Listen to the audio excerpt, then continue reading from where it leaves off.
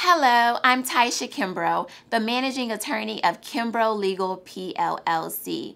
If you lost your job and you were previously ordered to pay spousal maintenance or child support, you will have to go back to court and seek a modification if you can no longer afford to pay those obligations.